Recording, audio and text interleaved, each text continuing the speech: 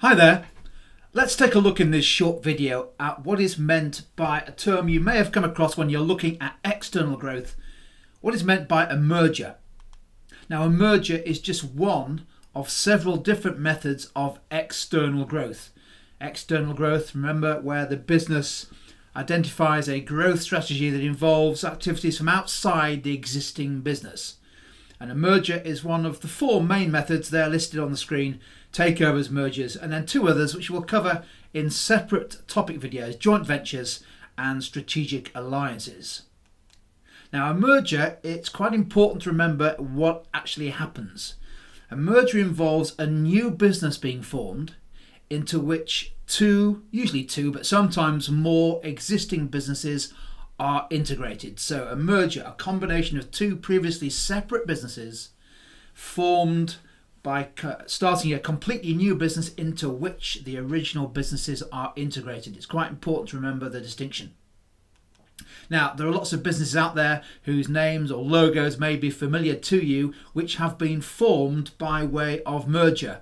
Just uh, two or three there listed on the screen. Dixons Carphone, which was formed by the merger of Dixons PLC and Carphone Warehouse PLC.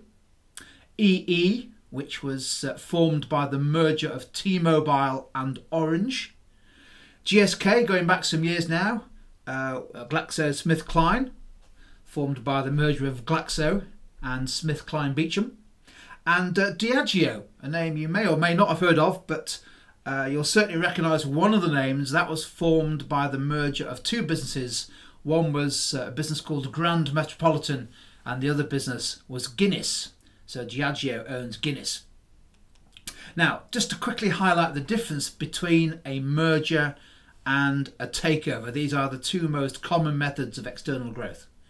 As we've already mentioned, a merger involves a new business being created into which existing businesses are placed, whereas a takeover involves one business taking control of another business. So there's no need to create a new business, it's simply one business taking ownership or control of another business.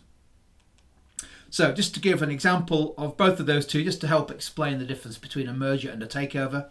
With a merger, uh, we've seen that Dixons decided to merge their business with Carphone Warehouse. A new business was formed into which both those two businesses were placed and they called it Dixons Carphone.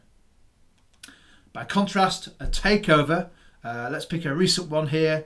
Microsoft in 2016 uh, took over or acquired a business called LinkedIn, a large professional social network. The result was a larger Microsoft. In other words, LinkedIn became a business unit of Microsoft. Microsoft shareholders owned LinkedIn along with the other businesses that that uh, well-known brand, that multinational owns. Now, of course, this can get a bit complicated over time because sometimes businesses that merged are then taken over. So here's a quick example just to show you how this works. We've already mentioned that uh, some years ago now, T-Mobile and Orange were merged into a new business, which was called EE.